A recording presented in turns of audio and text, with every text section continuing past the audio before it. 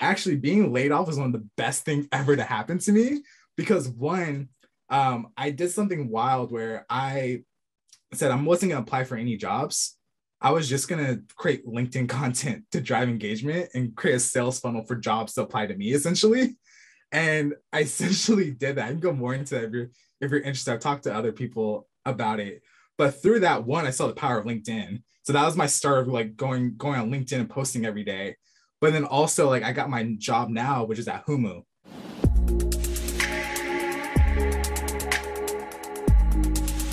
This episode of Ken's Nearest Neighbors is powered by Z by HP, HP's high compute, workstation grade line of products and solutions. Today, I had the pleasure of interviewing Mark Freeman. Mark is a community health advocate turned data scientist interested in the intersection of social impact, business, and technology. His life's mission is to improve the well being of as many people as possible through data, especially among the marginalized. As the founder of On the Mark Data, Mark uses this platform to share impactful ideas via content creation, as well as push for innovation through consulting startups. In this episode, we dive deep into mental health in data science, and that's something we both believe needs to be talked about more. We also talk about how community, systems, and culture can breed resilience and success along our own data science journeys. I hope you enjoy this episode. I know I had a blast speaking to Mark. Mark, thank you so much for coming on the Ken's Nearest Neighbors podcast today. I've been really excited about this episode. We've became uh, familiar with each other through the data science uh, happy hour that Harpreet hosts, and I've I've loved your perspective in there, and I just I just had to have you on the show. I'm I'm super happy to be here, and, and thank you so much for for reaching out and having me. Um, uh, big shout out to Harpreet and creating that space. Uh, it's been so fun uh, meeting other amazing data professionals, and what a treat to to uh, kind of chat with you. I, I think I told you this before, but many times when people go into data science, they go to YouTube and like you're one of the first faces people see. So it's it's really cool full circle of like me starting my data science journey and then also getting to chat with you. So such a fun time. I love it. Well, you know, something that I've really enjoyed hearing your perspective on, or, or just just kind of like one of the affects that you have is you're really just honest. You're very authentic. You come off as someone who is comfortable with themselves. And you understand your faults. You understand the things that make you successful. And I really want to dive into that today. I mean, something we talk a lot about is, or, or I expect we'll talk a lot about is vulnerability, kind of being open with the specific challenges you faced and and you know understanding how that can impact your mental health, your physical health, any of these things. Mm-hmm.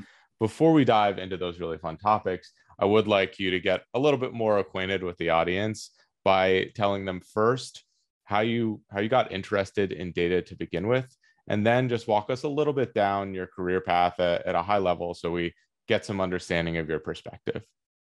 Definitely. So you know, I was not planning on being a data professional or or even being someone who codes. um, this came out left field for me.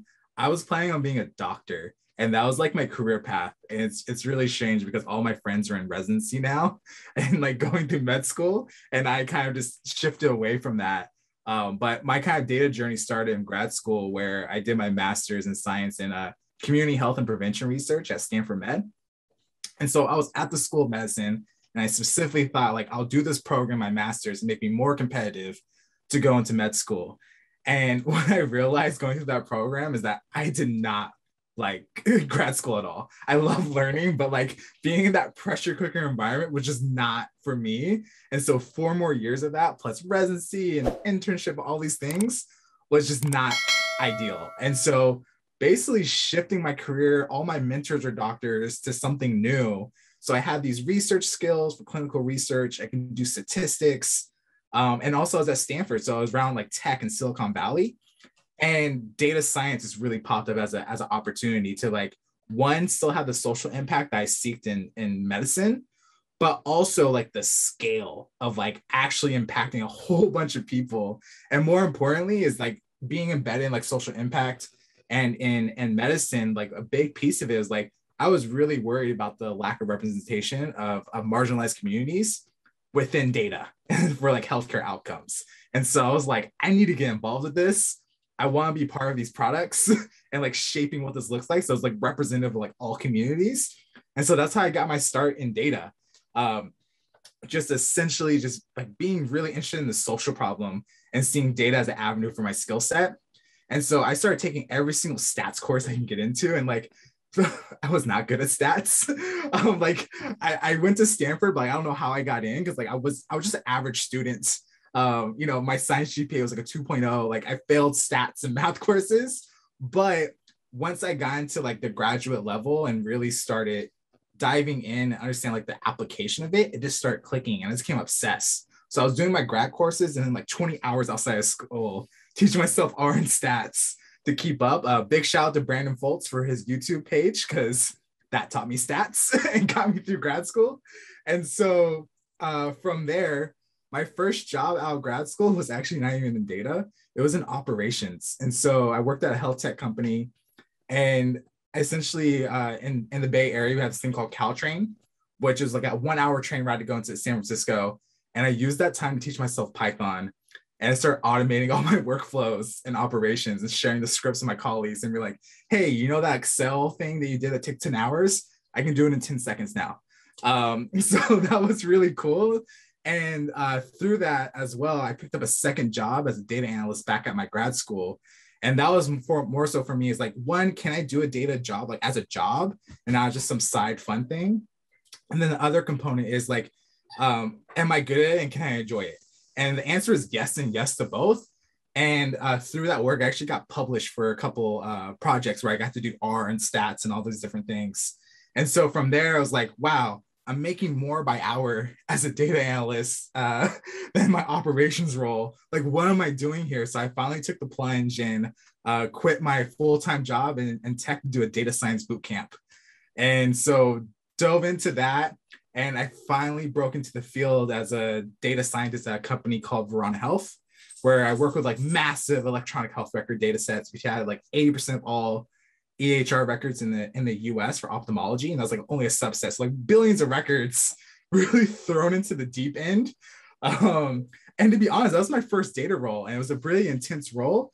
And I think I made a lot of mistakes looking back now, like almost two years. I'm like, huh, I could have definitely handled some things better. But like as a newbie, of course I'm gonna make those mistakes.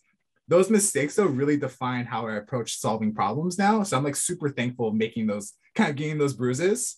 But eventually, I think eight months into that job, pandemic hit and I got laid off from that role. And like many people are like, oh, I'm so sorry to hear that. And like actually being laid off was one of the best things ever to happen to me because one, um, I did something wild where I said I wasn't going to apply for any jobs. I was just going to create LinkedIn content to drive engagement and create a sales funnel for jobs to apply to me essentially. And I essentially did that. I can go more into that if you're, if you're interested. I've talked to other people about it. But through that one, I saw the power of LinkedIn. So that was my start of like going going on LinkedIn and posting every day. But then also like I got my job now, which is at Humu. And it's literally been like one of the best jobs I've ever had. I've grown so much as a data scientist and in this role, I, I focus on three things building data products that reach our end users and like go into production. So like build NLP pipeline, build algorithms to classify users. Um, I do product analytics to support like product decisions. And then finally, I do a lot of like data infrastructure for like our data warehouse because we're a startup. We have to like be scrappy and kind of build things. And so that's where I'm currently at in my data career. And I'm just having the time of my life. So that's in a nutshell, quick, like I think five minutes of like my data career career compressed. Well, there's so much to unpack there. I mean, going all the way back to the beginning, just the decision to get out of medicine. I think that that's. I had a very similar realization myself. So both my parents are doctors, right? Mm-hmm. and you know, they go into the office, they treat 20 patients a day, maybe on on a good day, depending on. I mean, they're different fields, so it it kind of varies. Yep. But the thought was that over their career, they have a fixed number of people they can truly help and see. And as I got into the do- data domain, I realized that I could create one product, and that product mm-hmm. could help as many people as they saw in their career, potentially in the course of a week or a month or maybe even a day, which was mind boggling yes. to me. And it's uh, the medical profession is unbelievably important, but at the same time, like if scale is what's important to you and, and your ability to, to touch as many lives as possible, there are other avenues to go about doing that. And you can still be involved in the medical profession you can still be involved at the intersection of the social side and, and, and medicine, probably at even, again, a greater scale, like you just mentioned. Something else that I, I really also loved in that in that story you just told was how you did get introduced to data. It was this very in my it probably wasn't as clear progression when you were doing it, but it, it looks like you know you're you realize that data is interesting to you. You started doing things on the side. You found a way to get paid to do that a little bit. You determined if you liked doing it and you could see yourself doing it full time. And then you made that investment to do a boot camp. And from there it was it was gravy. But there was a lot of of structure and a lot of like testing yourself and experimentation mm-hmm. leading up to making that switch. And I think that that's something that a lot of people overlook. I mean, I know quite a few people that get into the field and they don't like it just like you were in the same situation with medicine you you went so far down you have this sunk cost fallacy where you're like oh i'm i'm already in my second year at med school like i can't i can't get out of this and I met some people like that too which is like you know at stanford top top school for medicine finishing up their residency and they're like yeah i'm leaving the profession after like eight years of training and I'm like, that's heartbreaking. And I was almost that person as well. Yeah. And I, I think, you know, to be perfectly honest, that can happen in data science too, right? Where you mm-hmm. go down this road where you learn all this stuff, you do the boot camps, you do whatever, you're a year into your first job, and you say, uh, this isn't for me. You know, maybe I don't work with people enough. Maybe it's whatever it is. Fortunately, I think within data, there's a, a lot more variance between individual positions compared to a more structured field like medicine or law but but that can happen. And the process that you use where it's a constant iteration and testing cycle and you're experimenting i, I think is is so so valuable. Um, those are kind of my thoughts on that. I would love to hear more about the linkedin experiment that you did there i really love that that's something that that resonates particularly with me I, I'm sure it's going to sound redundant at this time. I talk about it in like every podcast episode, but the, the idea of, I keep forgetting what I call it. It's either like organized or structured or planned serendipity, where you're putting all of this stuff out into the world. And, and if you're habitually doing that, the odds that someone sees it increases and the odds that the incremental odds that the things that you want out there come to you are are increased over time. And you had a very concrete thing that you wanted, which was a job. I'd love to hear how you first got that idea to to just focus on LinkedIn content and create that funnel, and then a little bit more about implementation and how that worked. Definitely. So I think the key of it is like eight months ago, I went through the like the the data science job search, and like that was rough. Especially like your first data science job, that was so rough and the, all the traction I got wasn't applying to jobs. It was actually messaging um, decision makers, so like recruiters or hiring managers directly. And that's how I got interviews for things, not through applying through various things.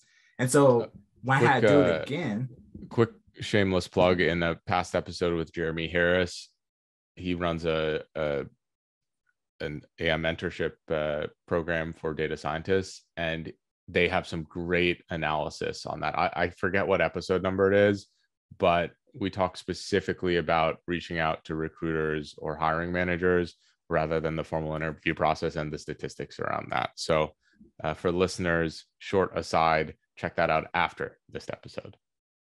Uh, yeah, I'm, I'm gonna check that out too because, uh, because yeah, that, like I quickly just saw like I was not getting traction, and so for me, I was laid off. It was the middle of the pandemic. Um, my wife had to stop working for health reasons. So it was basically I have three months of runway before I have to. My wife and I have to move back into my parents' house.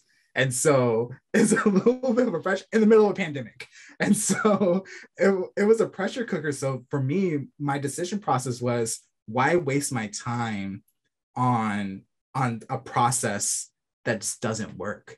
I'm gonna focus instead on kind of building up this uh, kind of presence. And the key thing is though, like it wasn't like I just turned on LinkedIn and like that was like my first day. Like I was on LinkedIn for years, kind of on the on the lurking side, but I built up relationships personally and then added them on LinkedIn. And that was kind of like the catalyst. So it wasn't like I was completely starting from scratch. And I think the key thing is like you leverage your network. like you don't want to build a network when you need to leverage it. You need to build it way earlier in advance, provide so much value to your network as much as possible, simply because you want to help. And when you need help eventually, people will come in spades just to really support you. And that's exactly what happened. Um, you know, various nonprofits I helped out beforehand, various friends um, who are now in the data space, or just other people I've had like cool conversations with. Um, they really all came out and supported me, started sending me job uh, recruiters to come my way. They uh, sent me job applications, made introductions, but by posting on LinkedIn, it created a platform for them to easily engage and be aware of my situation. Um, and so for me, there's just it quickly became clear, wow, LinkedIn is super powerful for really connecting the dots. And I would 100% say, like LinkedIn, if you're listening, you like completely changed my career for the better. It's um, it's it's been it's been really really great. So that's that was the reason why it was like it seemed like the most impactful thing, and I knew decision makers were there for a job. I just had to be seen. I love that so much, and it's not a perfect analogy but it's the first thing that came to mind, which could be a little dangerous. But I think the way you approach this, where you're you're building something right, and over time, it's creating value for yourself and for others. The analogy that I was looking at is like that's almost like buying a house, and right over time, you're always going to have that house. You've accumulated that that that network. You've you've set something in stone. Whereas if you're just going out and you're applying to jobs, right? You're sending out all these applications, you're doing these interviews. It's a little bit like renting, right? Because after the fact, what what do you have to benefit from, right? Like you might have had that experience interviewing, and that's like a very niche skill. So like, yeah, maybe you can get another job at some point. Like you have a renter history, and so you can probably rent again fairly easily. But you know, is that going to be creating more value for you in the longer term? No, like owning a house allows you to either sell it or or refinance off of it. It gives you so many more options. Same thing with creating this LinkedIn content. You have this network. You probably have a lot of things that you've learned and you've shared. You've built this specific communication channel that you can do a whole lot of things with. It's it's a a very powerful and and you know you don't see the immediate payoff, right? Like mm-hmm. you don't. It's probably sucks. There's a little bit more upfront cost, but I think you know we're both people who have fairly large social presences. I think we would both agree that being involved in those places it opens up infinite opportunities. And to Definitely. me, that is something that I mean, you know, it's infinite. You can't quantify how valuable it'll be. Uh, and and something that's been really clear because I'm starting to see the fruit of like building these relationships after like a year of doing this is move away from transactions, um, the renting, like he said, and again, provide value because when you provide value, it provides an on ramp to build a relationship with someone. And those relationships are just so key because you don't know when that relationship will help or you'll be able to help them um, in a meaningful way. And people want to be surrounded by people who like bring positive outcomes. and so, you know, by having those relationships, you know, through my interviews at that time, some hiring managers became mentors Others were like, hey, you weren't a great fit for this role, but like stay in contact because you're just so great to talk to. Like when you get more experience, like let's let's restart this conversation. Um, and so like to go from this hiring process of like being a cog in the wheel of going through this like uh resume review process to instead like, oh wow, let's build this relationship. You could potentially work here as well. And if it doesn't work out, we can still maintain this relationship to like talk about data and i think that was just really powerful it's like again relationships way more powerful than than just a whole bunch of transactions. Yeah you know i think that that 100% bleeds into any individual work that you do right? If the people that you work with they trust you which is i think a like a staple of any good relationship they're more likely to you know to buy into the work that you're doing, the data that you're working on. That can go too far. Is that you you're not skeptical of things and you're you're completely overlooking things. But for the most part, I think that that trust and the relationship aspect within your work domain, it's not valued quite enough. And with data science, where you're sort of at the intersection of a highly technical and systematic field and a little bit more of a uh, like a creative field, I think it's hard to understand where that line is between relationship and transaction. And yeah. I'm I'm really excited. I'm very grateful that the data science community is so good at emphasizing and reinforcing the relationship side. Um, you know, again, like stuff Harpreet's doing, all the podcasts, all of the different LinkedIn creators, the YouTube creators, like I like all of them, which is rare in in specific yeah. domains. yeah, especially in the YouTube say, space. Yeah. There's like in YouTube, they have a whole like genre of drama, which is yeah. absolutely wild. yeah, well, I, I, don't. Me and Alex Freberg still have some some ongoing uh, joke like joke uh, joke conflict, but that that's always a, a good time. I think we have some content coming out in the next couple of months too, so it'll be it's fun to have as long as people realize that things are satire that's that's where yeah. so I, I realize and and we've talked about this offline it wasn't all um roses and and lollipops on the on the journey here. Uh, you know through your, through your story it obviously all made logical sense but at each of those decision points particularly leaving medicine it couldn't have been an easy decision. Can you walk me through some of the things that you were experiencing and how you you know how you overcame a lot of the the self-doubt that you were having? Definitely. I i'm so excited to talk about this i feel like i don't really have a platform to really discuss this as easily. Um and i think it needs to be discussed more. Is like a big reason that i left medicine was just for my own mental health. I grad school I, I tell people all the time it's one of the hardest things i've done. And it's really a pressure cooker and I had some underlying kind of like mental health uh, issues that were just like I wasn't aware of, was undiagnosed. And then when I got into grad school, complete pressure cooker and brought them all out. And so um, I've, I've talked about this on my post on LinkedIn, but I was diagnosed with uh, uh obsessive compulsive disorder, uh, which, you know, when I was first diagnosed, I was like, that's not me. What? I, I'm not flipping light switches on and off all the time. But then when I really learned about it, I'm like, oh my God, I've had this my whole life and being in grad school, the pressure and not getting sleep and not taking care of myself really exacerbated. And so the best way to describe that is like with OCD is just cycle where you have an obsession. It can be something random. I think for me at school is like I opened up a, a PDF for an article and in my head I was like, oh my God, this is copyright. and it doesn't make sense. I laugh at it now, but like it was so real to me. And I thought like the world was gonna end.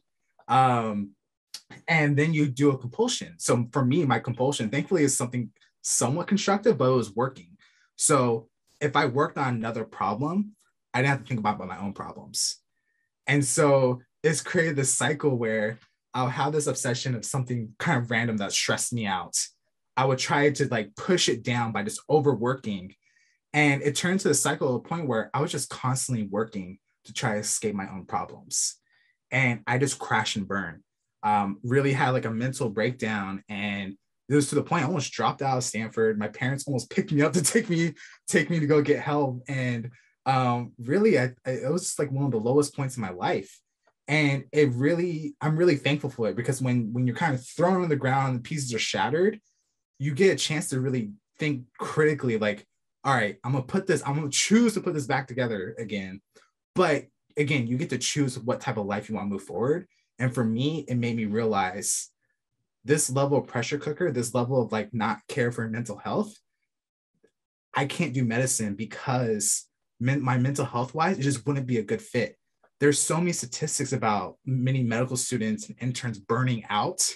Um, I think there's like high suicide rates in that group and like a lot of like addiction, all those things. And so for me, I was like, honestly, this is a passion of mine but I don't think I'm so passionate to kind of jump off a cliff with my own health to do this. And so I just had to step away from this career because I just knew it wasn't good for me and what my life wanted. And so that's where kind of data came in because in a way I still got to have that mental stimulation. So I got lost in code as a way to deal with my anxiety. I got lost in statistics to deal with my anxiety. And over time, through a whole bunch of therapy and a whole bunch of support from my friends and family, you know, I was able to channel that like overworking. So I was like doing like 48 hour work benches which is like people are like, oh wow, Mark, you're hustling so hard, you're doing so great, you're doing all these things. But inside, I'm like, I literally feel compelled to work and I want to stop. I don't know how to. um, and it's like kind of torturous. And so eventually over time, I was able to really channel that energy and be actually like, hey, you don't need work all the time. You can actually have way more impact. And so that was the biggest push. It's like data science provided this opportunity for me to really engage mentally and like step away from my life, but while also like over time learning how to like engage properly and growing in a data career. And so like even though this is like a really low point for me, I'm so thankful for it because it forced me to think about like personal development. And that personal development now, like you said, I'm very vulnerable. I know my strengths and weaknesses because I've been forced to learn those. And it's been it's, it's done wonders for my career because now I get to think critically like what life do I want as a data scientist, just as a person. And then from there, you know, be actually critical and mindful, like how do I actually spend my time to get to that point instead of just like constantly working, working, working. So it sounds like a sad kind of story, but like it's actually really happy for me because like I had this bad thing happen. I learned from it. And after years of working through it and having support, I'm like thriving now. And I, the the strengths I gained from that is it just helps me out so much in talking to other people about data um and and like connecting with people in the workplace so that way i can actually like build things that actually help people um through through data and and kind of like the the shining point for me where i felt like oh wow like you've really learned how to how to handle this or you like you've really not like you made it in a way is like i made a post about this and someone from the other side of the world said oh my god i have i, I deal with the same thing as well and like your posts, like they're aspiring data science as well, gave me hope that I can be a data science too and overcome this. And like reading that, I was like, one, I need to talk about this more because other people are experiencing this. It's just people are scared to talk about it. But two, like if I stop social media today, like I won. Like that, that was like like that was just like the happiest moment to see like I've actually overcome it. It can help other people with this story. And you know, it doesn't detract from my life or data career. It actually adds a lot to it and it's a unique perspective that I think many people um, don't openly share. Well, so first, like, thank you for sharing. I think that that's one of the most important things. It, it, it is difficult, especially in the public sphere, to talk about the specific challenges that that any that that you face, that anyone has faced, and like not putting yourself in like the necessarily like the best light. I think is so so important because there's so many people out there especially within this domain, they don't feel like they're enough. They feel like the challenges that they're facing, whether it's motivation wise, whether it's um, like a, a, a de- depression, de- a depressive type symptoms, whatever it might be, they feel like they're alone in that journey. And that mm-hmm. is not the case. I mean, there, there are so many times in my own career where I felt completely defeated, where I was yeah. completely lost.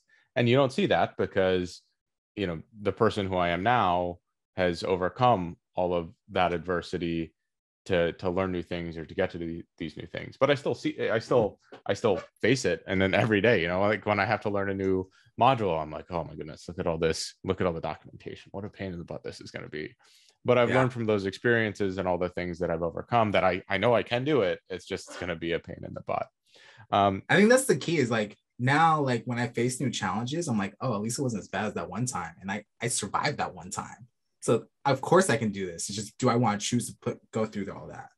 Yeah. And you know, another thing I really would love to highlight is the importance of talking to other people, especially a therapist. Therapy therapy has really helped me in in sorting through a lot of the challenges that I faced, especially when I was really just starting out in the content space.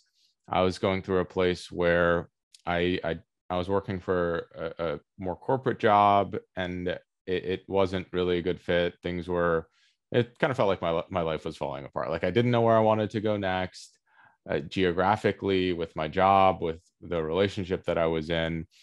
And as much as we try to compartmentalize these things, at least for me, they all always flow together.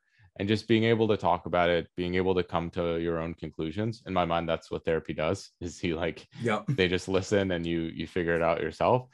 Um, that was so instrumental in essentially all of the i guess like success that that i've had to to date and uh, another thing that that you brought up was situational uh, like like your your um the situation you're in like that has so much impact on positive or negative mental health.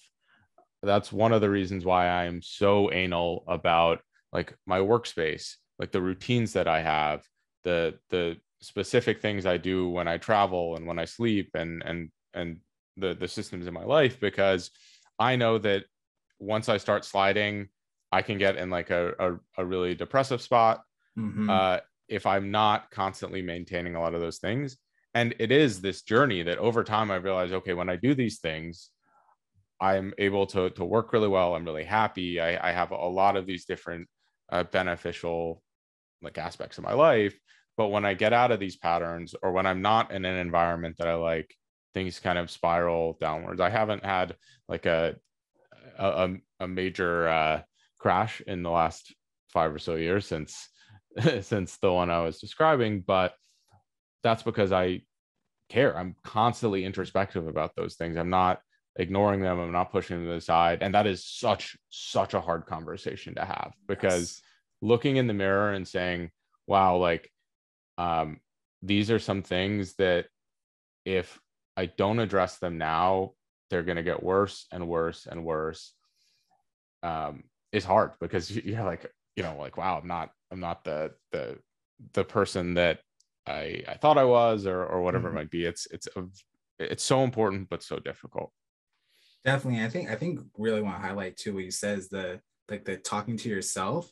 And I think especially just kind of tying it back to kind of like a data career is that you know you're constantly learning as a data scientist or data professional. So it's like a marathon and there's so much to learn and you can really burn yourself out. And so one of the key things with like overcoming my mental health and and and managing it finally was one, I had to get really good explaining how I feel to myself. So like I feel XYZ, I think XYZ, right? And like really separating that. Um, so that way I can stay calm, not have anxiety and whatnot. But when you learn how to do that, you learn how to communicate to yourself what your needs are. And so then you can start setting boundaries with yourself, saying no to things, saying like, hey, if I do this, I'm not gonna feel so great, right? So like you need your space clean. But then after you start setting boundaries with yourself, you can start setting boundaries with others. And that's where I think really where your career can grow because I notice when I start setting boundaries with others, you know, people, if I find the right workplace, one, I find people who respect those boundaries, and that's the type of work environment I want to be in.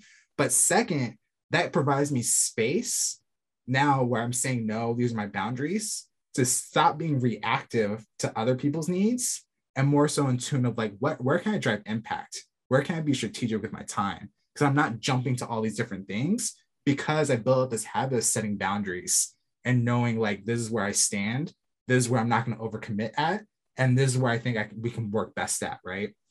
And so I don't think I would be able to do that without really going and understanding my mental health and like really focusing on self development.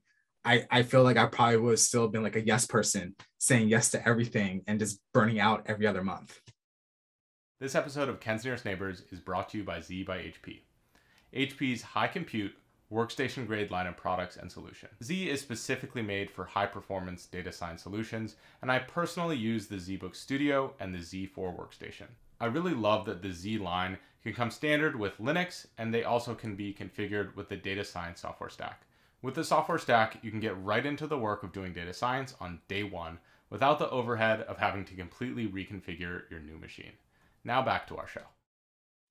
Yeah, well, I am still very, very glad you said yes to doing the podcast. So, yeah, I mean, this definitely fits within my boundaries, and this is very uplifting for me. So this is really great. Perfect. Well, you know that that is something that that has been one of the most like monumental changes that I've made over the last 10 years is the way I view myself and the way that I like like monitor myself. I know that sounds sort of weird, but a, a, huge change for me. I was I was playing golf in in college, and I would go see this coach, and it, every day I would come in, he'd ask me, "Hey Ken, like how are you doing?" And I'd say, "Oh, you know, can't complain. I'm doing I'm doing all right." and then he'd be like, "Why are you just all right? Like you should be great. You're 21 years old. You're playing. You're playing golf. You're doing something you love. Like, like, why isn't every day great?" And he would get mad at me every time I came in and just said things were going okay.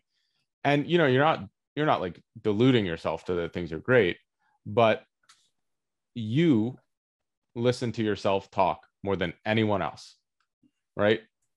You yeah. hear the things that come out of your mouth. And if you're for better or for telling, worse. Yeah, and if you're constantly telling yourself that things are okay and like it's like ah whatever and like they probably will be and your your mindset will be of that. If you're constantly telling yourself that things are going great and there's there's like opportunities out there and y- you have the capability to achieve the things that you set your mind to again you're hearing that and you're encoding that and you're you're like you're you're actuating it. And uh, you know I, i'm really grateful to that guy's name is bernie najar. He probably doesn't know how grateful i am considering i don't play you know i'm not playing competitive golf anymore but go send um, him this podcast today and then that clip.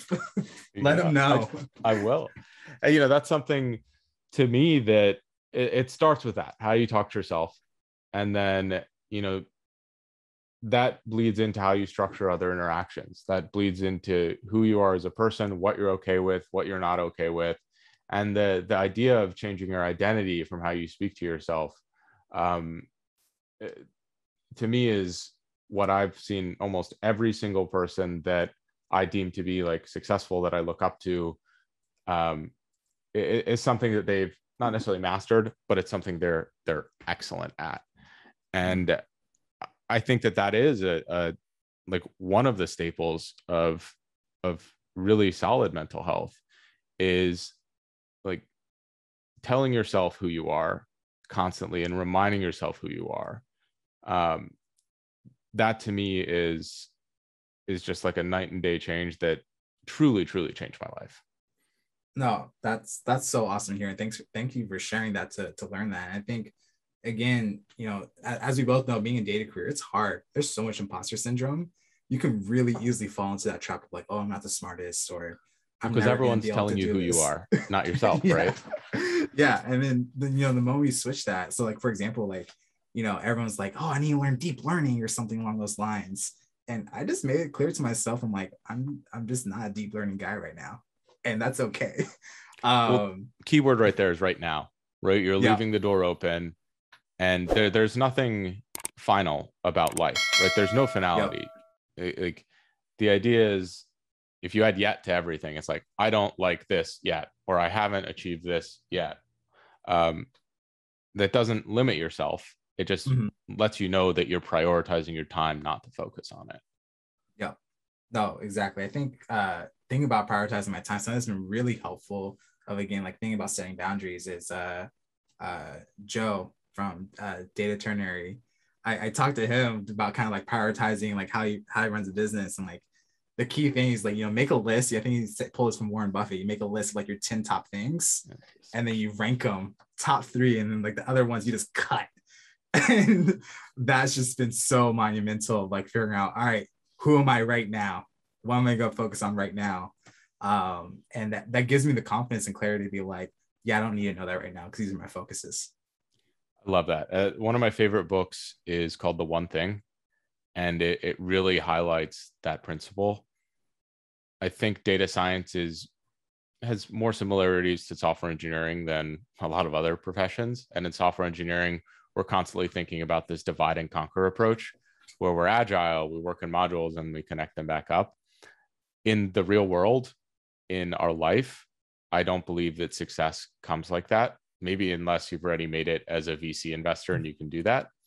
But success comes more linear. After you accomplish one thing, you can use the momentum from that to tackle another thing that's bigger. There's this dominoes analogy where I think it's like if if you have uh, 50 dominoes and each domino is uh, like 1.5 times larger than the previous one, if you knock them all over the 50th domino is the size of the moon or something crazy it's like power of exponentials right but it works that way in the things that we hope to achieve in in business or in life is that if i knock out this goal let's say my goal is to to get into you know, to lose like 15 pounds because I want to. I feel like that would improve my my health. The next domino might be that I want to run a 10k, which could you know you're getting momentum from losing weight in that health domain, and it's building up to potentially a bigger challenge and a bigger challenge.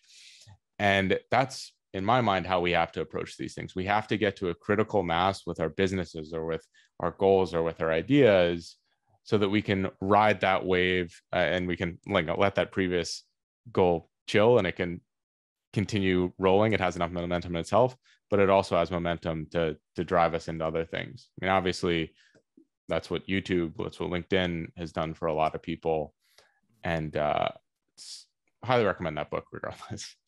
Yeah no i i mean i i, I go believe, believe that like consistency will always outpace talent um because you know this talented individual doing like these one-offs you know you'll you'll get these shining moments but you know they'll burn out eventually or they'll, they'll kind of fade in obscurity. But if you just show up every single day it's getting incrementally better over time you're going to surpass a lot of people um, and, and i think one of the one of the best decisions i've kind of made in my life was uh, i think after i graduated from undergrad i was working uh, you know working 40 hour jobs i still do this but essentially is like, wow, I'm spending 40 hours on someone else's dream. And so, like, if I'm to spend 40 hours someone else, I'm going to spend 10 hours investing in myself, whether it's learning something new or building something, wherever it may be.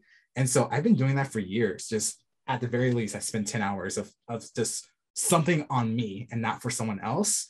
And the reason I'm a data scientist today is because I spent those 10 hours over and over and over again.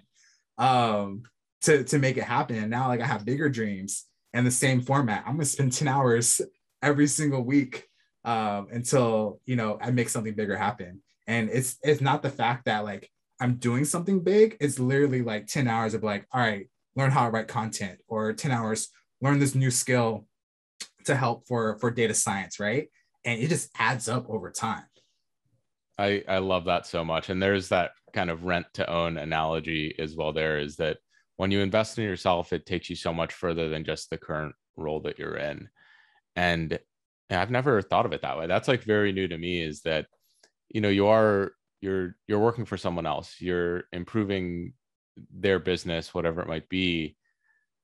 Why not just spend that time some of that time or, or some of your own time working on yourself? I know you're tired at the end of the day. Maybe you worked 40 hours, 50 hours this week, but don't you kind of owe it to yourself you know isn't isn't that where you know your your personal projects or your your personal endeavors or your own goals are, are actualized and the idea of spending dedicated time on that is is something you know I, I see why you're having the success that you're having because you're willing to to do that work on yourself and uh, i don't think it takes a lot i think most people do zero of that yeah. And so you, you'd be surprised. I tell people this all the time, and so few people do it.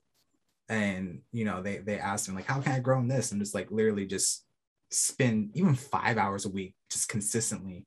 And that's why I was telling you, like when I learned Python on the train, the reason why I love the train was that it was one hour to SF and one hour back. And so five days a week, that was 10 hours just on the train on my commute, self-development. And that's that's like it's brought my laptop and just started practicing Python or I'll go read an audio book or not read audio book, listen to an audio book or wherever it may be. Um, and again, you know, you can find those little pockets of time to really double up. So like say for instance, you're driving in the world past po- uh, the pandemic, you know, when you're commuting again or on the train, like one hour of an audio book to help improve your leadership skills or think critically about something that adds up that information. Yeah. Well, you can also structure your time too. I mean, that's I read every night before I go to bed. I read it, you know, at least 10 minutes, usually up up to even an hour. And I find that is an incredible buffer to before I go to sleep because it gets me away from electronics. I read paperback books. Mm-hmm. Um, and that's also a little bit bleeds into the conversation that we had before is the importance of sleep and how data you know I, I, I didn't bring this up earlier but i think it's important how data can help us manage a lot of the, the challenges that, that we can have with mental health. I mean, that's something, uh, you know, I, I went down that whole spiel of how, uh, how systematized I am, but technology is enabling me to do that better. You know, I, I use the mm-hmm. Oura ring to track my sleep. I track a lot of things that I eat, how much I exercise, all these different things. And it, uh, hopefully, I'll do a, a little project on analyzing how those match up with my mental health, my focus, the amount of time that I work, maybe even the money I make, those types of things on a, a weekly or monthly basis.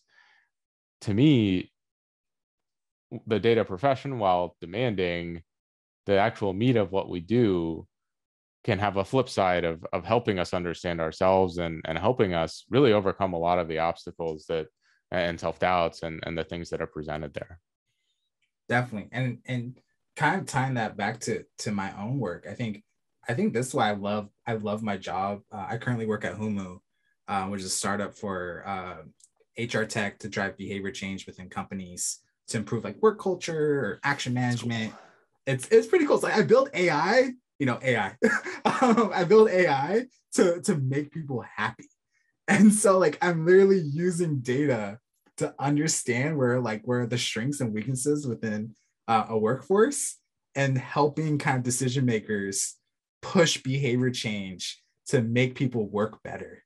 Uh, again using data to help people uh, it's so empowering. It's so fun. Like I, just, I go to work and i'm like wow this work is actually going to make someone's life happier that feels great That's awesome. Yeah, and the idea you can use data to help others. You can also use data to help yourself.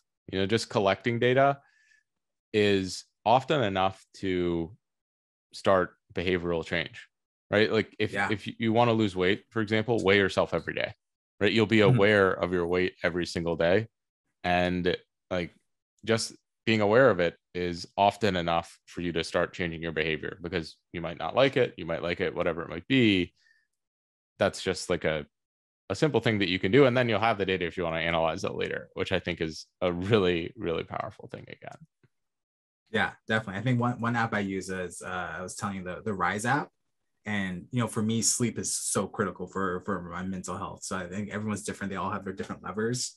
Mine is sleep and so it tracks my sleep debt and it's really cool because it shows like based on your sleep debt like your like circadian rhythm this show like when you're gonna have a peak of energy and we're gonna have a low point of energy. And so I used it to like map out my day to be most productive and also be like, oh wow, my sleep, my sleep debt is like way too high. Let me actually go to bed earlier for the next few days and really, really recalibrate. So yeah, it's this is why I got into data. Like we can really help people. it's so cool. I love that. I, I and, and that's something that maybe I I got into YouTube more for the helping people part, and then I, you know, I obviously saw the value of data in that in that journey. I think that technology and learning some of these skills are are what is over time going to change the world. That's one of the reasons why I'm so adamant about education and, and getting people involved in it. I mean, I, I don't think that any of the research or any of the work that I'm do, that I do on the data science side is truly going to make like a substantial difference in the world. Like I work in sports for the most part. I mean, those might help with entertainment, whatever it might be. But on the content side, I see that if I help educate people, if I help get people aware of the field, if I, they realize that this is an opportunity, there's cool stuff in there. I don't think it's unreasonable to think that someone who has seen my videos might go on to do something really incredible. And if I was part of that, if I could help in that in any way, that to me is unbelievably meaningful right? I mean you know I, I, think that i have certain limitations in terms of my time maybe my cognitive ability some of these types of things to be able to truly achieve something that other people have not done before. But on the communication side on on the other type type of content that i create i definitely think that there is a chance to inspire and that gets me so excited to produce content every single time Definitely. I mean, I, I, mean, also at the end of the day, like think about like a normal distribution. Not everyone can do this amazing thing. like, yeah, a lot of absolutely. people are just gonna be average, and a lot of people are gonna be subpar. So, like, how can you identify those people by you scaling up your reach to empower people? It gives you more chances to identify those people who are gonna be those like on the on the further right side tail to actually make those impactful things, and compared to like you just doing one off uh, aspects. Like like I said earlier, like you're one of the first people you see when you're like on YouTube how to get into data science what is data science um, so I, I i can only imagine like the level of impact you have that you're not even aware of, but that is definitely felt by others. Yeah. Oh, and it's it's a very exciting prospect. I, I just I'm so grateful that I could be a part of hopefully helping uh, inspire the next generation of data scientists yourself as well. I mean, you're, you're an awesome role model to look up to. And I think that, you know, there's, there's so many good people in this space that I'm excited about the future of this domain just in general. Uh, on a slightly perhaps less positive, but also very interesting note, earlier we talked about how a lot of people, rather than us telling ourselves who we are, a lot of people are sort of told who they are, or we're stereotyping people. And I think that has huge implications on mental health, but it mm-hmm. also can be amplified by the specific situations that we're in. I mean, one in particular that we've discussed offline is being a minority in a space. I mean, I don't think by any stretch of the imagination I'm a minority in the in the data field, like ethnicity wise but I have been a minority in pretty much every single sport that I've played growing up. I know how it feels to be the only one and the different uh, types of things that go through my head, the the different level of confidence and those types of things. Can you touch a little bit on, um, you know, how mental health intersects with the lack of diversity in the data science space, and if there's anything that we can do to improve the the overall quality of of the domain in like in regards to that? I love this question so much because that's another aspect of why I got into data. It's just like this diversity and representation.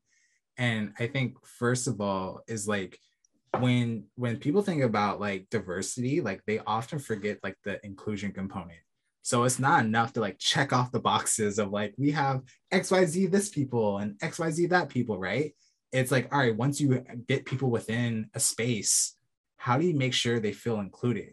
So, you know, you being an individual like who's a minority on the sport field, yeah, that that may feel uncomfortable at first, but imagine if like, yeah, that was the case, but they made an extra effort to make sure you felt included and it was known that like you were valued. And I think that needs to happen for for all space. I think the past year um, has really uh, DNI has been a very hot topic for various political and, and social reasons. Um, I think a lot of people are missing the the inclusion part. And so for for data teams, you know, really, and I think it goes beyond just like race, but like race, gender, identities, uh, backgrounds, you know, class. Um, and for context, my background sociology. So before I got into data, I was like really into social sciences. Um, and so like, you know, all those perspectives are extremely important because like we're literally building tools that shape people's decisions. And that's a huge responsibility. And we're embedding our biases within that. And so by having these diverse perspectives and making sure people are included to feel empowered to share their perspective and not be subdued, you know, ultimately turns into like better data products, products that don't harm people accidentally. Um, you know, there every other day there's probably some article about some big tech firms AI kind of going rogue and doing something wrong, right? um, you know, how how how can we mitigate that? And so i think that's that's kind of a key question is like you know diversity is not enough is like how do you include people in your practices your practices and, and policies? But also as, as an individual level you know what are you doing to not make people feel included um, in, in a space and being self-critical? So again going back to the mental health aspect of it of like being very self-critical like where where am i missing at? Where am i not being an ally where am I being an ally and really constantly trying to improve on that. And then to your other question of like the mental health aspect of it, just being blind, like it's lonely sometimes. I don't know that many data scientists that look like me. um, you know, and some people even told me like Mark, like, and this is kind of weird to hear, but like, yeah, you're like kind of like a role model for other people that look like you because like there's not that many people, so they see you. And that's like a lot of pressure um, it's a little scary, but um, you know, you you make it work. You you identify people with similar backgrounds. Just go out of your way. Um, for example, like I'm doing through this program called Black Tides. I'm mentoring um, people who identify as Black um, who want to go into data careers. Um, that's really uplifting for me because like I get to help people trying to go into data career, but also I get to see other people in the data space that look like me as well. And so, you know, there's no easy answer how to resolve it. But at the same time, that doesn't absolve us from like actually individually trying. I think the biggest thing we could do is like being very critical of like how can we include others in our processes, in our policies, and just our day-to-day work. I really love that. And it's something that I've found unbelievably valuable on that front. Uh, like the the connecting with other people is that even in the the difficult times with with the pandemic, this has been a better time than ever to connect with people virtually. So the odds that I know someone that's a data scientist that's also interested in sports that also might like content, the odds that I run into one of those people in like my normal circles is astronomically low. Like mm-hmm. even if I'm hanging around with a lot of data scientists, the odds that they are interested in the other things that I am are are very very low. The odds that I find a group that I identify with online and can connect with and network with is unbelievably high. Like LinkedIn is a search engine for people that are like you or that you want to meet or whatever it might be. There's there's a lot of people that value coming together and they should obviously value coming together and creating communities. And that's one of the reasons why I've spent so much of my time investing in communities over the last couple of years is because I would like to help bring people together. I'd like to help mm-hmm. improve the diversity of thought and opinion within the space. I mean, I will say within the domain right now, I think that there's an unbelievable amount of cognitive diversity, right? Like you you have people who have very different skill sets, the very different backgrounds. They're interested in very different things and you know like really really weird stuff, you know. Uh but but like yeah, I know this guy really into papayas. Kind of strange. Yeah, what a strange dude. Who would like a tree fruit that much? Um, but to me there's another there's another step that you can take that opens up uh, uh, the, the world uh, which is you know differences in cultures different differences in life perspectives. And that bleeds into really good quality work because just as you said you're understanding problems from more viewpoints. I mean you look at some of the most basic uh, challenges that that we've had with ai especially with identifying like criminals for example like the the the fact that those systems are significantly less accurate when identifying african americans as i mean that probably wouldn't have happened if there were more african americans that were involved in designing that process right? Yeah.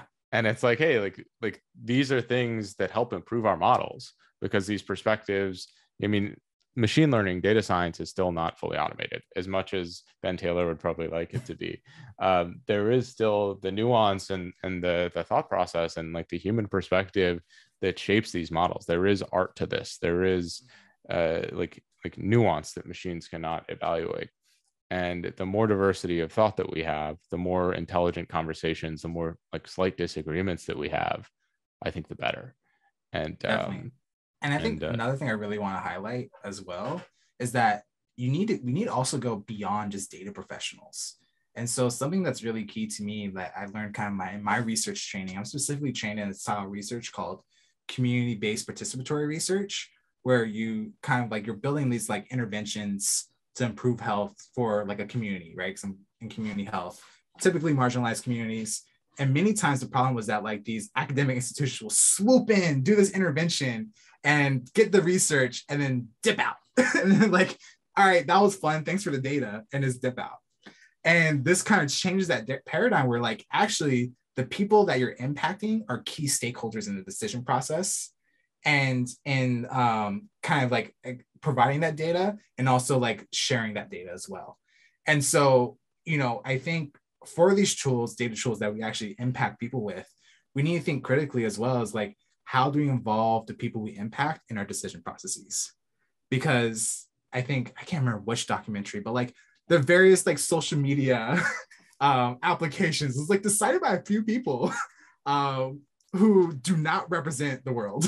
Um, and so, you know, thinking more critically, like how I think people call it like human in the loop, but you know, I'm just brainstorming right now, but like community in the loop. You know, how can you think critically about involving what's the externalities, the impact of our data work on others, and making sure that we don't harm people. Yeah, well, I think that's something so valuable about valuable about individuals making decisions and having personal biases. To me that's like a, a super fascinating domain. An example from probably like the the more recent news i don't know why this has been on my mind a lot but like joe rogan right? He got covid and he's yeah. like I, I wouldn't say he's an anti-vaxxer but he believes that i think young people and uh, like healthy people with low comorbidity factors they don't need to be getting vaccines. And then so he gets it he gets treated and he he ends up you know a couple days he's he's okay. But his perspective is that okay i i got it i got all these treatments and i was fine. What he doesn't realize is that how many people have access to all the types of treatments the iv drips the the experimental medicines all these things that he has i mean if everyone had access to it yeah maybe those people wouldn't uh, need to be vaccinated but he is in a very rare unique situation. And like his judgments are based purely on his life not on the the broad economic landscape of of the united states or other countries. And i think that a lot of the time in a large corporations we see the same thing where there's sort of an ivory tower where oh in, in our life that is like drastically different from the average person's life this is what yeah. creates value and this would be great but we there's this divide between me and the group and the more dissenting opinions the more the more uh, people we have who are involved on like boots on the ground uh, processes and and living in kind of like in Joe Rogan's case, like the real world, uh, that's that's definitely a better thing for a process, and that comes up a lot in design thinking, right? That's mm-hmm. uh, I had uh, the person that I that I co-taught uh, a class with, Ovetta Sampson. She is a designer by trade, and uh, a lot of the concepts you described are are specifically uh, intimately connected to design thinking, and it's it's nice to see those things researched. I, I probably attribute that to being at Stanford for a little too long because they're oh, very oh, yeah, heavy they, on design thinking. Design program. Yeah, and it's like embedded in like the culture so much, and like how I approach problems and think about problems are very influenced by that. Yeah, I read a book from one of the professors there called Designing Your Life. It was a very interesting. Yeah, the blue book on, with the, the yeah. little dots on it. Yeah. Yeah, a very interesting take. Maybe a little too systematic for my life. I, it's coming from a person who is very systematic to begin with, but uh, I I love that perspective for problem solving. Like getting to intimately know the problem, like getting to experience the problems firsthand, is invaluable for coming to hopefully good solutions. Yeah. No, I think one of the first things I tell, like, if you get into a new job as a data professional, the people I talk to aren't other data professionals or engineers. I go talk to uh, user research, uh, UX research, and sales because they're the closest to the customers. And it's like interview them, like, what are the things you're hearing? What are the problems you're facing? What are customers talking about? Because uh, many times the organizations not going to send their data scientists to talk to users. And so they're the next best thing um, and through that I, I, get to learn intimately like what are the conversations they're having like that informs a lot of my decisions that's awesome uh, i mean let, us let's, let's talk also a little bit more about that sort of um, corporate sphere like getting into a data science role something that i know that we've both experienced is like we get into a role we're a senior data scientist we still don't feel like we know what we're doing. I mean that's a little bit of imposter syndrome but it's also like a reality of the domain. Like in my mind there are very few people that truly know what they're doing. Is that your experience as well yeah uh, i think I, uh, I was talking on one of danny ma's posts basically how every single day i'm just learning as i go like they they're like yeah build this thing i'm like cool and then I'm like instantly Googling, I'm like, how do I build this? What's the correct approach? And I think, you know, maybe a myth that a lot of like aspiring data science believes that you have to know all this stuff. And reality is like, you just got to know how to learn fast and apply. Um, and, and you learn as you go through through that whole process.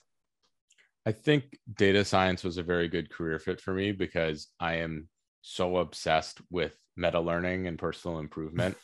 and I truly believe that good data scientists are just quick learners that that are good critical thinkers as well because tools are going to change the even the methodologies that we use at some point are going to change the ones who are going to be successful in the long ones in the long run are going to be the people that, that can adapt relatively quickly and communicate those findings relatively quickly and, and can can mm-hmm. keep up with that tidal wave. And so I I I have spent a lot of time learning, but I spent just as much time learning how to learn new skills and like you know the most important skill in my mind is to be able to one find documentation easily and understand documentation really fast. That's something that i've invested a disproportionate amount of time in and i think i would hope it's paid off. Yeah oh my gosh. I feel like the the turning point in my data career was when i stopped going to towards data science to learn things which is still a great resource uh, but there's a lot of stuff in there to first going to documentation and what I found was like now that I have the foundation, going to the documentation itself and seeing like the raw kind of instructions, I'm able to solve things much quicker. Um, compared to like getting someone else's filtered view of like these are the packages I use, right? And so, so yeah, learning how to learn, learn how to search things really fast, and then over time you build a collection of resources that you just reference really fast. Um, so I have a set of like books of want machine learning, a set of books for like Python, you know a set of books for statistics right? Uh, and i just i have a problem. I've seen it before and I, I know the foundations. I just go to that book chapter quickly read up on it. And i'm like okay this is what we need to do. Let's try it out. And you code it and see if it works. Well I, I really like that. That's something i recommend for almost every beginning data scientist is just creating like reference documentation for yourself right? That you can easily adjust that you can easily use. Like notion's good for that. Github's great for that just being able to go back and have an organized system for solving problems that keep recurring. I mean, yeah. a very straightforward one is okay, in almost every well, in almost every personal project, at some point you're going to be like reading a CSV or you're going to be reading some mm-hmm. JSON. Just like PD dot read underscore CSV is something that you can probably memorize really easily. But if you're just starting out, that might be something that you're doing repeatedly or you can just copy and paste in. That's something you could have somewhere. You know where it is. You're going to be doing it a lot. Um, also for example like training models or, or model tuning whenever i train a random forest model i start with like the same parameters.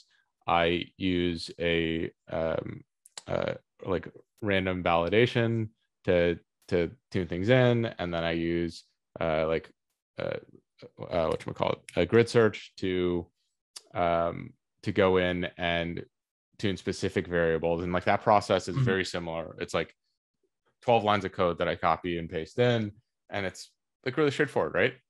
Yeah. Uh, but for me to like remember and type it out in keystrokes, it's quicker for me to search and copy and paste.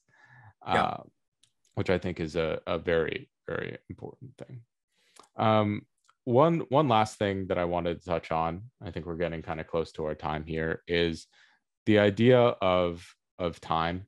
So we in data, we I, am a firm believer that almost any problem that I put my mind to, I could tackle. But the only bottleneck or the biggest bottleneck for me is time and potentially like compute resources.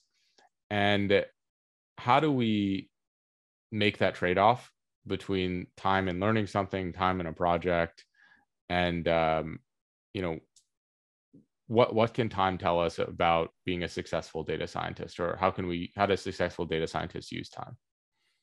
I think the the biggest shift in my career in probably the past seven months was actually finally zoning in on like learning how to prioritize because then you become acutely aware of your time and how limited it is. And the way i kind of described it to, to my friends is like when you first start off in your career you're essentially told what to do and there's a specific process. And so the more tasks you get done the better um, the next level is like you're told what to do, but you figure out how to do it. Again, the more tasks you get done, the better. But then you start shifting into here's a here's a goal that we want to achieve, and you're gonna figure out how to accomplish it. and you know, again, you have a have a north star, um, but there's different avenues you can go down, and some are better than others. And then when you get to a more senior level, they're like, here's this overarching business need you figure out the goal and then you figure out how to execute that. And that's where I'm currently shifting in my career. And my first initial shift in this, um, so like my mine was like his overall overall goal of like increased data access throughout the whole entire organization. Uh, that's super broad, and I just had to figure it out. Right, the first few months, I was trying to do everything, and I burned out hard. Um, where I was just like not being really successful because I was saying yes to everything, being like, well, I need to do this and I need to do that. Well, this is for this large goal, so I need to accomplish all these things, and I did not have time to do all of it there was no time at all to accomplish that. And so I quickly had to learn how to prioritize. So um, Greg Coquillo told me about the Eisenhower decision matrix.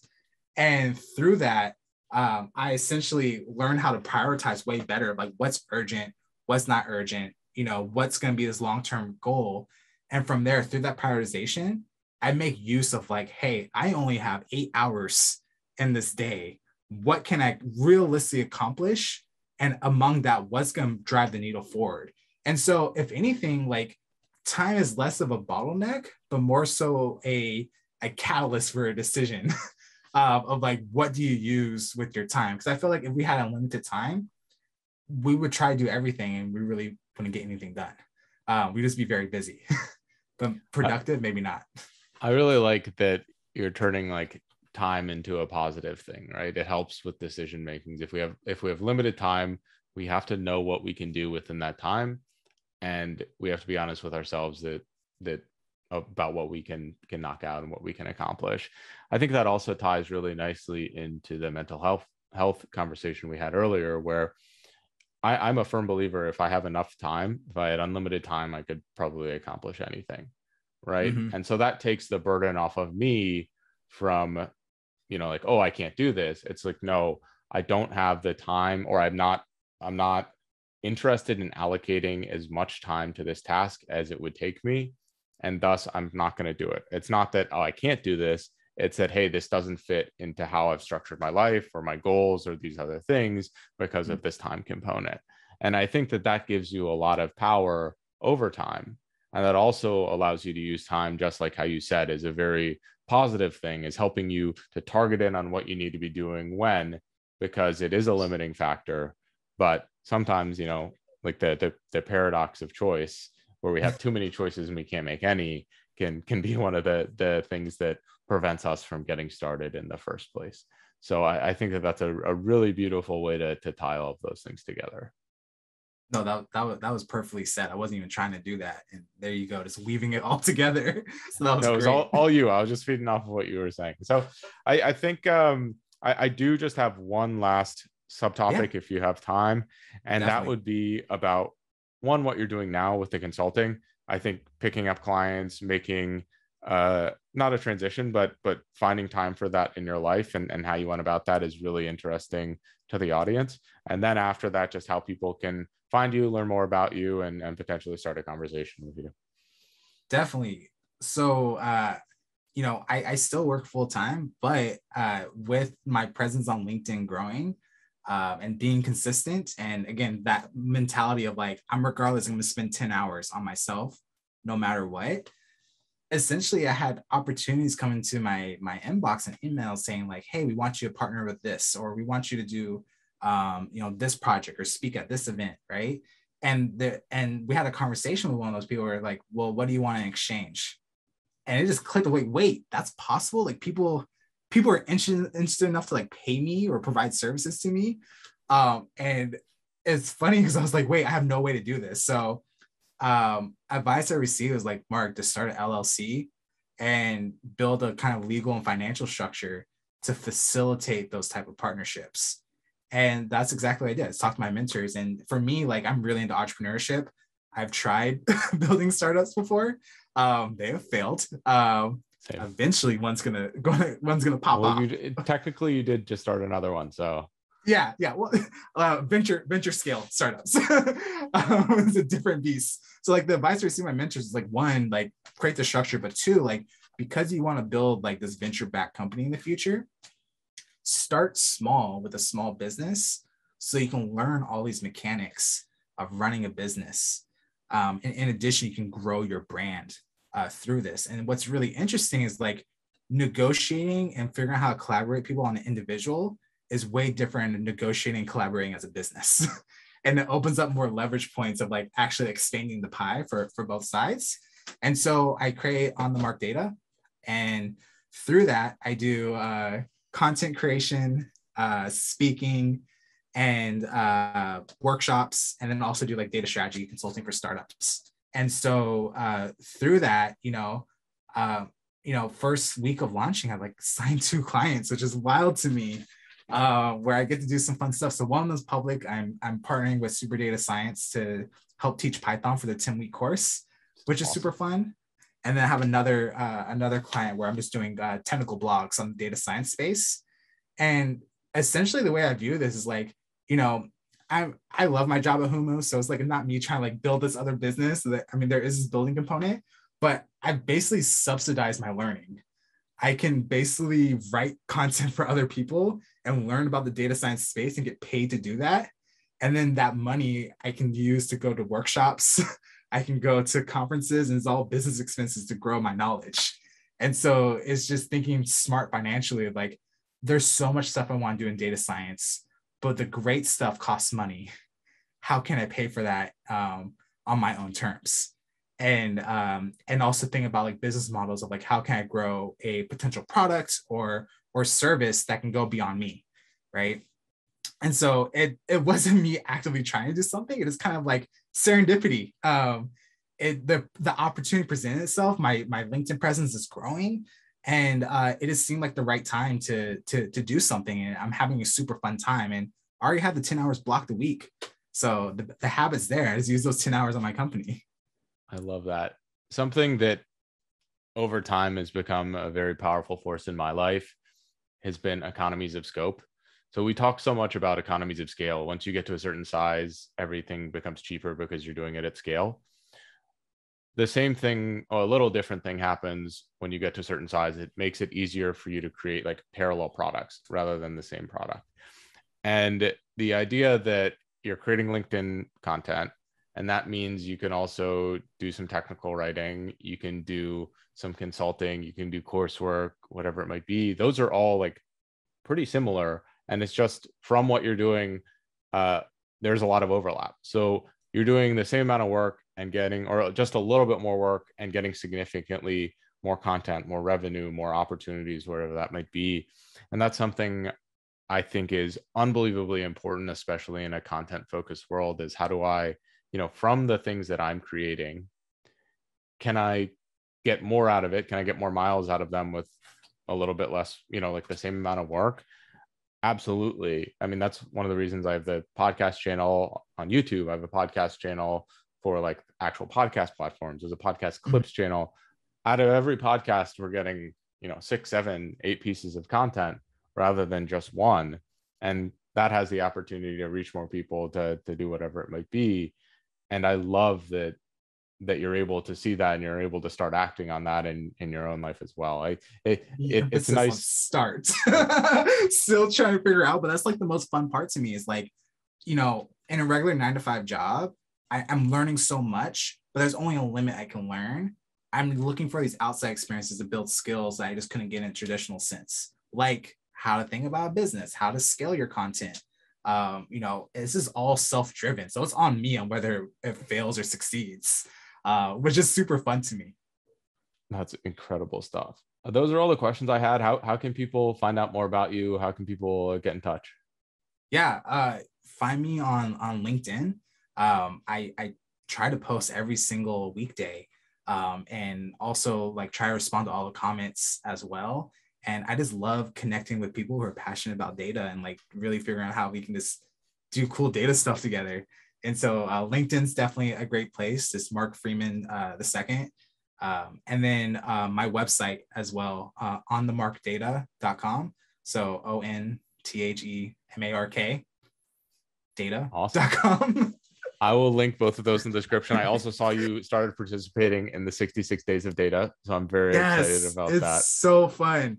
I uh, I did a whole like week where I felt like I was I wasn't commenting enough. And so I was like, I'm gonna create no posts on my own really. And I'm just gonna ask people to tag me. I'll leave my my thoughts and feedback, but also search content. And when you're going on LinkedIn, like there's so much like fluff and like really unuseful stuff. You look up hashtag data science and you know hashtag data and then I stumbled upon, you know, six six days of data, which I've seen before. I've heard you talk about it, but like it was just like a treasure trove of like all these awesome people just learning and sharing their ideas. There was like no, no necessarily brand, but like no selling point or or um, people trying to like gain something from the community. It was literally like, I'm doing this awesome stuff in data. Let's talk about it. And uh, it's my favorite hashtag now on LinkedIn and that's why I had to join it. Oh, um, oh yeah, and and it's it's super fun. Excellent. So again, like well, I guess a, fr- a free plug for 66 days of data. I just finished my third round. I'm going to be doing a fourth round probably starting in January. And I would love for anyone who's interested in creating some awesome data science habits to get involved with that here. Uh, Mark, this was awesome. I always enjoy talking to you. Thank you so much for coming on the show. And I'm excited to for the next time that we get to work together. Super excited. Thank you for having me. This was super fun.